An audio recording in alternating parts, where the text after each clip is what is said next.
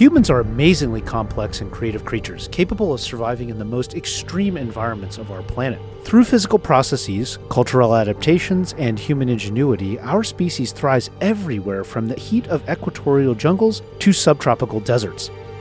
This video introduces the complex and fascinating fundamentals of human thermal physiology, providing a basic understanding of how humans adapt and endure in high heat conditions. At a basic level, all mammals are heat engines, burning fuel to perform work. To illustrate this point, consider the analogy of an internal combustion engine.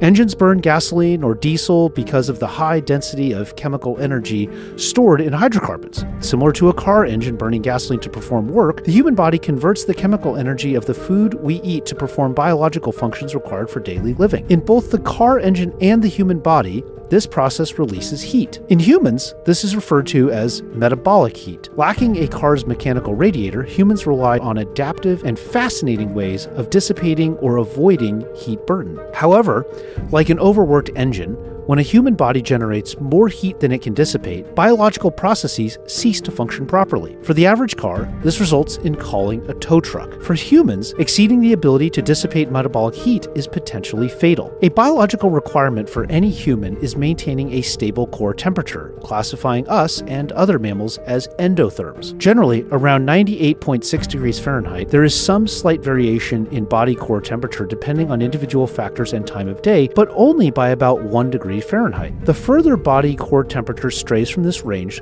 the greater the likelihood of negative health outcomes. If core temperature drops too far, we experience a condition known as hypothermia, with symptoms ranging from shivering to unconsciousness to death. Core temperature can dip surprisingly low before becoming fatal. In 1999, a Swedish woman was resuscitated after being trapped under ice despite a body temperature of 56.7 degrees Fahrenheit, an astounding 42 degrees below normal. At the other end of the spectrum, hyperthermia is defined as an abnormally high body temperature caused by the body's inability to dissipate heat. There is a distinction between core temperature rise from hyperthermia and the same condition resulting from a fever. However uncomfortable, the fever is intentional. Our body is deliberately resetting its internal thermostat as a response to infection. In contrast, hyperthermia results from the body's inability to maintain desired stable temperature despite its best effort. Our internal thermostat remains around 98.6 degrees Fahrenheit, but core temperature rises anyway.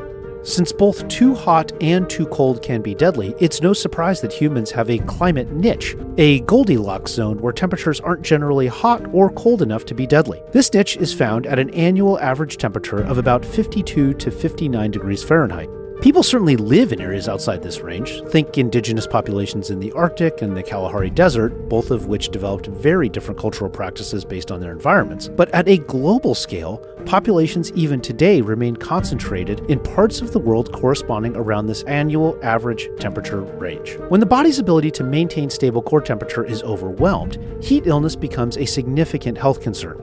Heat illness occurs along a spectrum ranging from relatively mild conditions such as heat cramps and heat syncope, i.e., fainting from heat, to heat stroke, a medical emergency characterized by, among other things, central nervous system dysfunction and potentially death. Heat illness is a real and growing challenge even in the United States. The Center for Disease Control reports that in 2023, there were 119,605 emergency room visits for heat related illnesses, with record hot months between May and September resulting in record high visits. Heat stroke survivors commonly exhibit long term neurological and organ complications. Heat stroke itself is divided into two types exertional and non exertional heat illness. Although both result from the body's inability to prevent core temperature from rising, causal pathways are different. Non exertional heat stroke is experienced primarily by the elderly and the very young. In this population, the body's response mechanisms for cooling down, such as increasing heart rate and sweating, are compromised by advanced age or a child's immature biological responses. External factors, such as temperature, are the primary drivers of increasing core temperature. Extending our car engine metaphor, in non exertional heat stroke victims, the body's radiator is worn out or not fully functioning. A high proportion of fatalities during the most deadly heat waves in recent history, including the more than 30,000 fatalities during the 2003 European heat wave and more than 500 fatalities in a Chicago area heat wave in 1995 were among the elderly.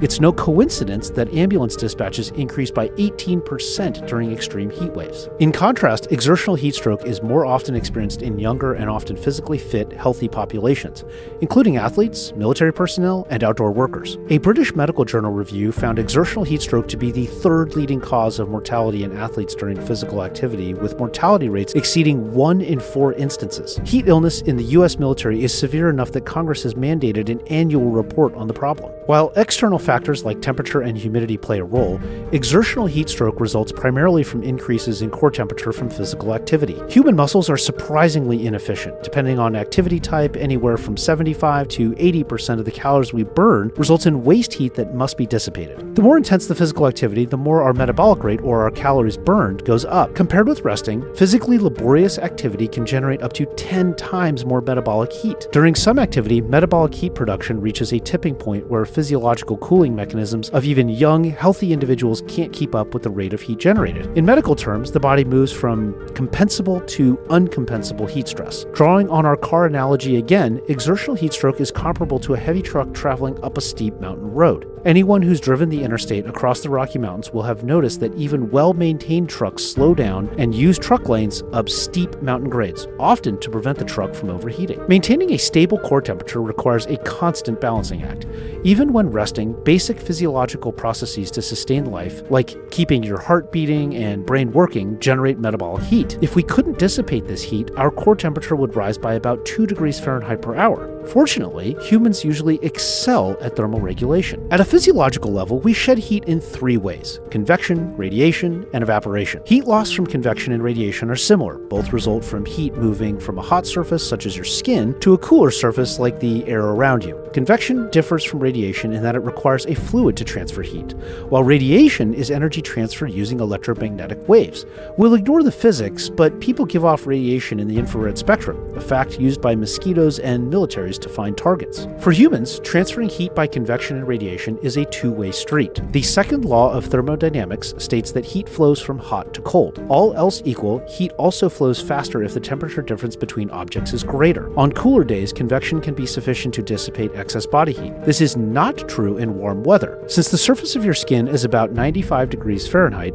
the surrounding environment must be cooler than this to dissipate body heat through convection or radiation. Any warmer, and you actually gain heat from the environment. At the same time, we are constantly generating metabolic heat. Balancing the rate of metabolic heat production with heat loss through convection and radiation alone requires an environment no warmer than about 87 degrees Fahrenheit. Obviously, you can survive temperatures above 87 degrees Fahrenheit.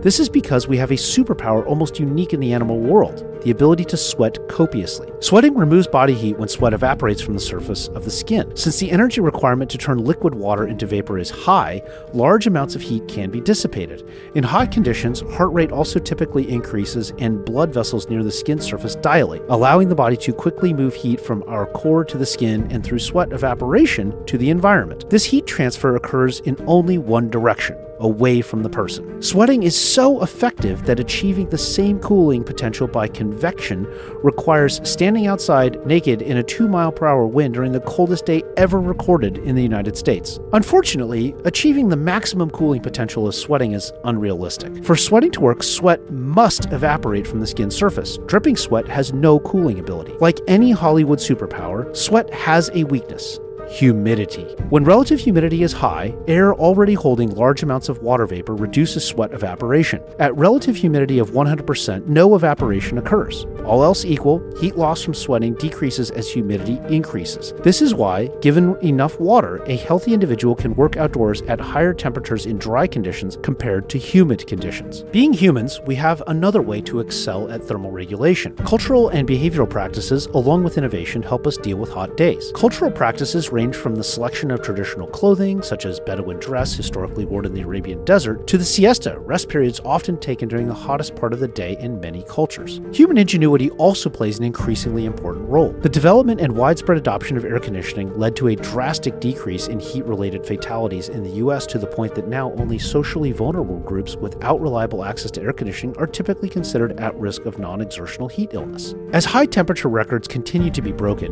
new innovations allow working and recreating in the heat. Products such as the Qore Performance ICEPLATE are examples of ways to assist the human body with heat management. Keeping a Core Performance vest against your torso introduces direct conductive cooling, allowing heat transfer between two objects of different temperatures in direct contact, i.e., your body and the vest. Without this innovative equipment, conductive heat exchange is generally negligible or even an impingement to thermal regulation due to the insulating properties of gear and safety equipment. As temperatures continue to rise and heat records are broken, these adaptive strategies and innovations become increasingly vital. By leveraging human physiological strengths and creative solutions, we can continue to work and play safely in the heat.